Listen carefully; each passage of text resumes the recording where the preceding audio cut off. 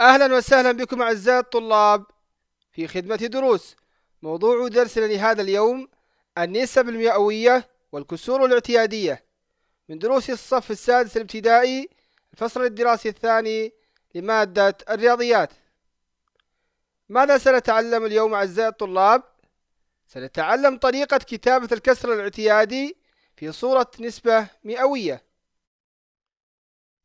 دعونا نتذكر معا أعزائي الطلاب النسب المئوية والكسور الاعتيادية في الدرس الماضي. أخذنا معا تعريف النسبة المئوية. ما هي النسبة المئوية؟ نعم أحسنتم. هي نسبة تقارن عددا ما بالعدد مئة وقد يكون هذا العدد أقل من مئة أو مساويا للمئة أو أكبر من المئة. لاحظوا معي أعزائي الطلاب هذا النموذج. يتكون من مئة جزء. قمنا بتضليل مجموعة من الأجزاء. لاحظوا هنا عشرة عشرون ثلاثون أربعون. إذا يمثل الجزء المضلل هنا أربعون بالمئة أو أربعون من مئة أو أربعون على مئة. أخذنا أيضا أعزائي الطلاب طريقة كتابة النسبة المئوية على صورة كسر اعتيادي.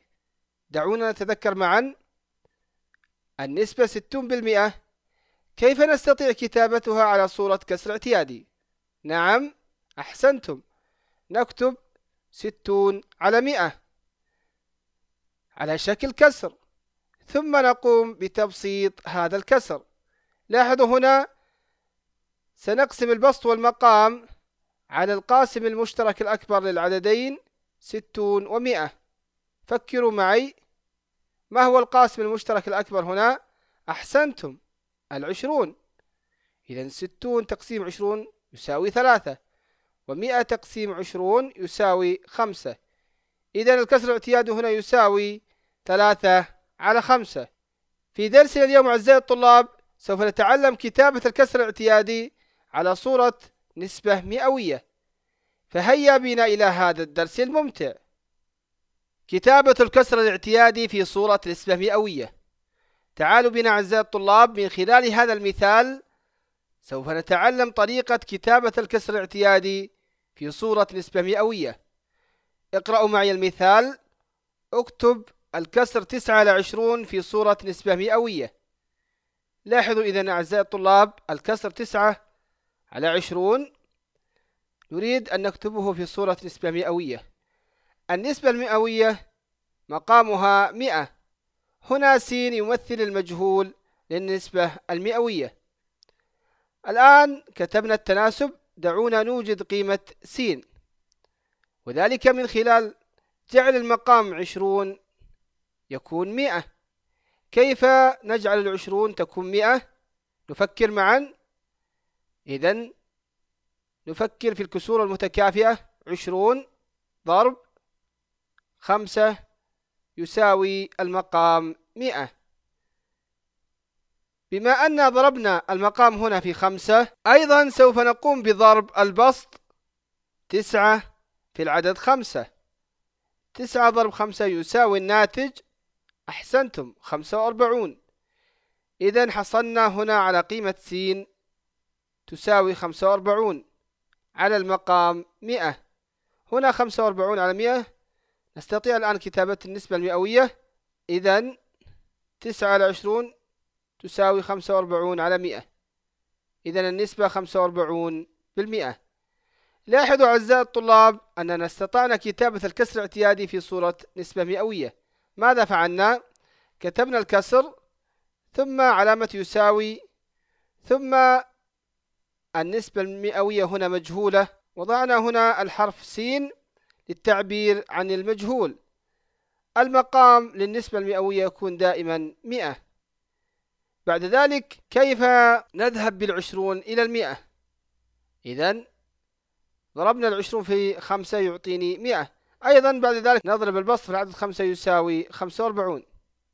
أحسنتم أعزائي الطلاب وهيا بنا أيضا نحل بعض التدريبات. اقرأوا معي أعزائي الطلاب هذا التدريب. اكتب الكسر واحد على أربعة في صورة نسبة مئوية.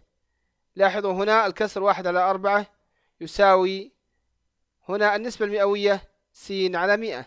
كتبنا الآن علاقة التناسب هنا. الآن نبحث عن عدد. نستطيع ضربه في الأربعة يعطيني مئة. إذا فكروا معي ما هو العدد الذي نضربه في أربعة؟ يعطيني مئة. أحسنتم. يساوي خمسة وعشرون ضرب أربعة يساوي مئة. الآن ماذا نفعل؟ أحسنتم. نقوم بضرب البسط أيضا في العدد خمسة وعشرون. واحد ضرب خمسة وعشرون يساوي خمسة وعشرون. إذا أوجدنا قيمة س. قيمة س هنا تساوي خمسة وعشرون على مئة. إذا النسبة المئوية تساوي هنا خمسة وعشرون بالمئة. إذا استطعنا أن نوجد النسبة المئوية. تعالوا بنا أعزائي الطلاب نقرأ هذا التدريب. اكتب العدد الكسري اثنان وواحد على خمسة في صورة نسبة مئوية. لاحظوا هنا العدد الكسري يتكون من عدد كلي ومن جزء كسري. أول خطوة نقوم بتحويل العدد الكسري إلى كسر غير فعلي. كيف نفعل ذلك؟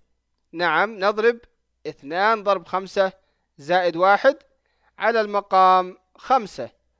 إذا اثنان ضرب خمسة عشرة زائد واحد يساوي إحدى عشر على المقام خمسة. الآن نريد كتابة هذا الكسر في صورة نسبة مئوية.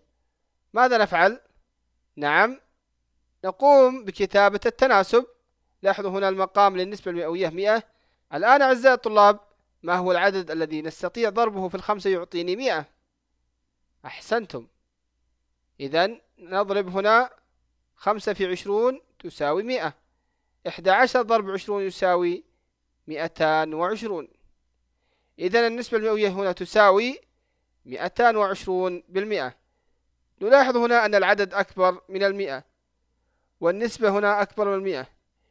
إذا كانت النسبة أعزائي الطلاب أكبر من المئة فهي أيضا تعطيني وتدل على أن العدد عدد كسري ولكتابة العدد الكسري في صورة نسبة مئوية ماذا نفعل؟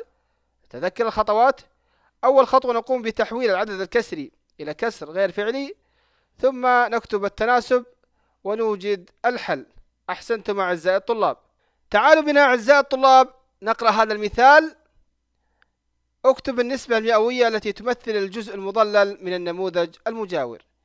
لاحظوا هنا أعزائي الطلاب يوجد لدي نموذج نريد أن نكتب النسبة المئوية للجزء المضلل من هذا النموذج. لاحظوا هنا هذا المستطيل قمنا بتجزئته إلى واحد اثنان ثلاثة أربعة خمسة ستة سبعة ثمانية.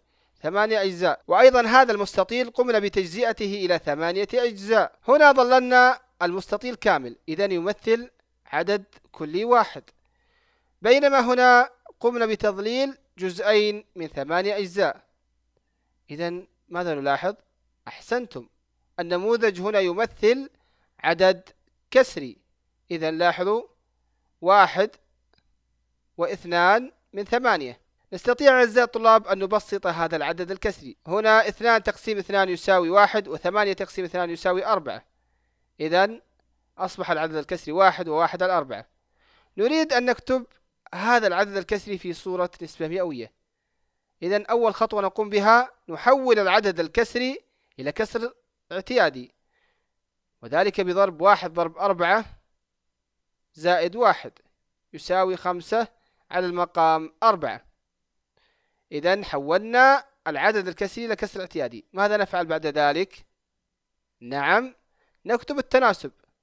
خمسة على أربعة يساوي س على مئة. نريد أن نجد قيمة س. ماذا نفعل؟ نبحث عن العدد المضروب في الأربعة يعطيني مئة. إذا فكروا معي. أربعة أحسنتم. أربعة مضروبة في خمسة وعشرين يساوي مئة. بعد ذلك أيضا نضرب البسط في العدد خمسة وعشرون. خمسة في خمسة وعشرون فكروا أحسنتم يساوي مئة وخمسة وعشرون. إذا النسبة هنا تساوي مئة وخمسة وعشرون. هي النسبة التي تمثل الجزء المضلل. أحسنتم أعزائي الطلاب. تعالوا بنا أعزائي الطلاب نقرأ هذا التدريب. اكتب النسبة المئوية التي تمثل الجزء المضلل من النموذج المجاور. لاحظوا أعزائي الطلاب هذا النموذج عبارة عن دائرتين. كل دائرة قمنا بتجزئتها إلى أجزاء متساوية. واحد اثنان ثلاثة أربعة خمسة. ظللنا في الدائرة الأولى جميع الأجزاء.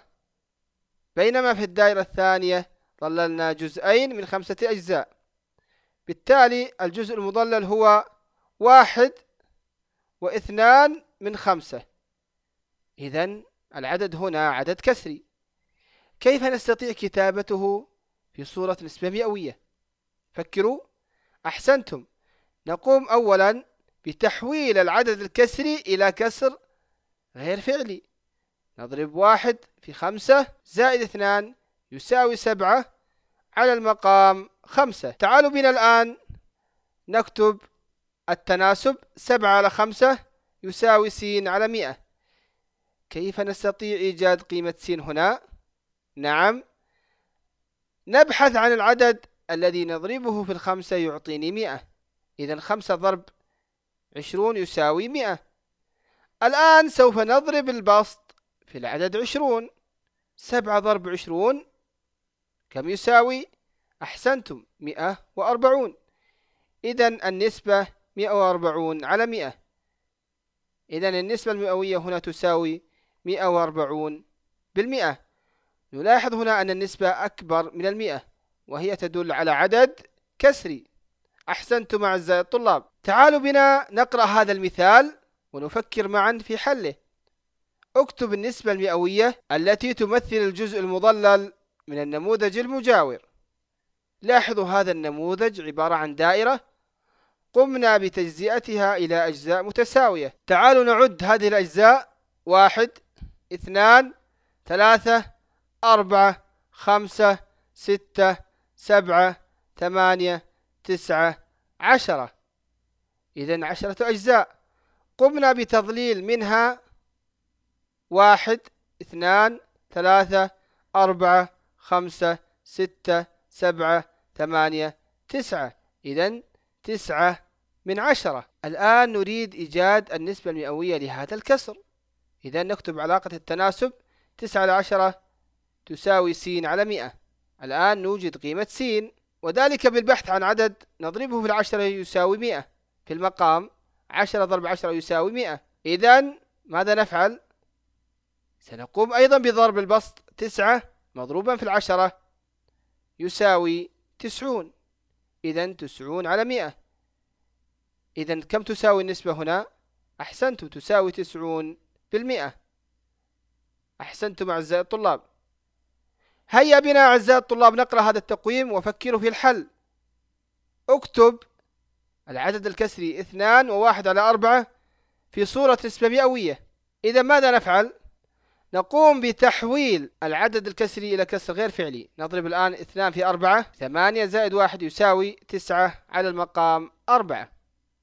إذا أصبح الكسر هنا تسعة على أربعة. ماذا نفعل الآن أعزائي الطلاب؟ نكتب علاقة التناسب. ثم نبحث عن عدد نضربه في الأربعة يساوي مئة. إذا فكروا معي. أربعة ضرب خمسة وعشرون يساوي مئة. أيضا سنقوم بضرب البسط في العدد خمسة وعشرون. تسعة ضرب خمسة وعشرون يساوي مئتان وخمسة وعشرون. إذا كم تساوي النسبة؟ أحسنتم. تساوي مئتان وخمسة وعشرون بالمئة. نلاحظ هنا أن النسبة أكبر من المئة فهي بالتالي تدل على عدد كسري. أحسنتم أعزائي الطلاب. تعالوا بنا أعزائي الطلاب نقرأ هذا التقويم. يشكل الماء نحو 23 على 25 من البطيخة فما النسبة المئوية التقريبية لكمية الماء في البطيخ؟ لاحظوا هنا الكسر الاعتيادي 23 على 25 حتى نستطيع كتابته في صورة نسبة مئوية نبحث عن عدد نضربه في المقام 25 يعطيني 100 إذا 25 ضرب 4 يساوي 100 أيضا نضرب البسط في العدد أربعة. إذا ثلاثة وعشرون ضرب أربعة يساوي اثنان وتسعون وخمسة وعشرون ضرب أربعة يساوي مئة. إذا النسبة المئوية التقريبية لكمية الماء في البطيخ تساوي اثنان وتسعون بالمئة. أحسنتم أعزائي الطلاب أنتم رائعون. أعزائي الطلاب ماذا تعلمنا في درسنا اليوم؟ دعونا نتذكر معا. نعم أخذنا النسبة المئوية والكسور الاعتيادية. وأخذنا طريقة كتابة النسبة المئوية في صورة كسر اعتيادي. كيف نستطيع كتابة النسبة المئوية في صورة كسر اعتيادي؟ وأيضا أخذنا كتابة الكسر الاعتيادي في صورة نسبة مئوية. كيف نستطيع كتابة الكسر الاعتيادي في صورة نسبة مئوية؟ نأخذ هنا مثال. ستون بالمئة نستطيع كتابتها في صورة كسر اعتيادي وذلك بكتابة ستون على مئة. كتبنا النسبة على شكل بسط ومقام. ثم نقوم بتبسيط هذا الكسر وذلك بقسمة البسط والمقام على القاسم المشترك الأكبر للعدد ستون والعدد مئة. إذا ما هو القاسم المشترك الأكبر هنا؟ أحسنتم عشرون. إذا ستون قسمة عشرون يساوي ثلاثة ومئة قسمة عشرون يساوي خمسة. إذا فالكسر الاعتيادي يساوي ثلاثة على خمسة. لاحظوا هنا الكسر الاعتيادي ثلاثة على عشرة. نستطيع كتابته في صورة نسبة مئوية بكتابة التناسب. ثم نبحث عن عدد نضربه في العشرة يعطيني مئة. إذا عشرة ضرب عشرة يساوي مئة. بعد ذلك نضرب البسط في نفس هذا العدد حتى نحصل على النسبة المئوية. إذا نضرب هنا ثلاثة في عشرة يساوي ثلاثون. بالتالي النسبة هنا تساوي ثلاثون بالمئة. أحسنتم أعزائي الطلاب وألتقيكم في درس قادم